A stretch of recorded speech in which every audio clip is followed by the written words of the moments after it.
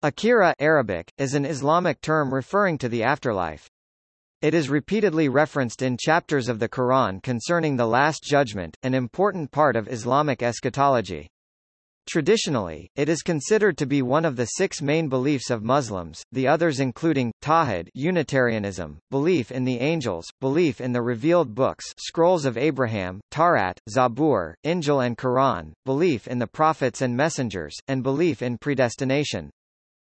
According to the Islamic beliefs, God will play the role of the Qadi, weighing the deeds of each individual. He will decide whether that person's akhirah lies in Jahannam hell or Jannah heaven on the basis of the weight of either good or bad deeds in comparison with one another.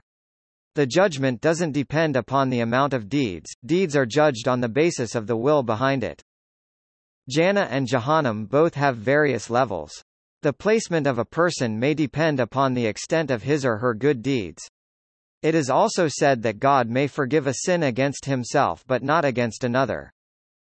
According to Islam, death is not the end of the life, but it is a transferal from this world to everlasting world.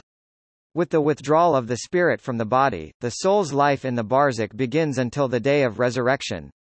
According to the deeds of the believer and disbeliever, their barzakh differs.